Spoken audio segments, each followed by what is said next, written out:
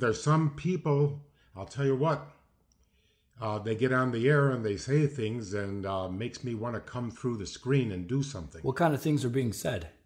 Well, I'm talking about the WWE had a DVD that, and I begged my mother to be in it, okay?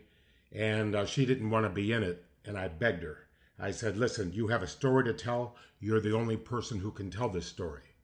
And everybody was nice to Randy in this, you know, especially Kieran Bent was the producer.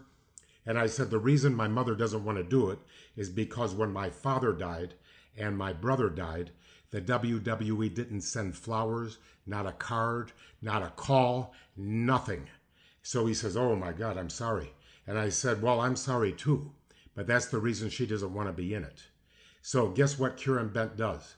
I talk her into coming. Kieran Bent comes in with five sound people, lighting people, camera people, whatever, and a big thing of flowers for my mother.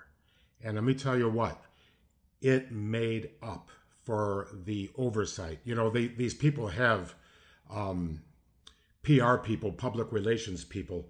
I know they have my number. I know they could have called me to get my mother's address, and they didn't. And uh, you don't need a bunch of PR people on retainer. All you need is a little common decency. Well, Kieran Bent, the producer of the DVD, he did a masterful job of what they say in golf, replacing the divot, you know, just trying to.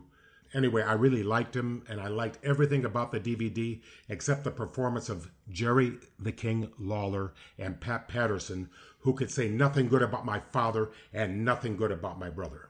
Oh, yeah!